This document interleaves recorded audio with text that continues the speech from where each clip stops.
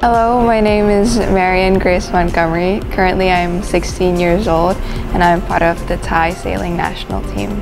Naturally I have quite a deep bite so I decided to come to a dental hospital to get my teeth fixed and the dentist recommended that I get Damon braces.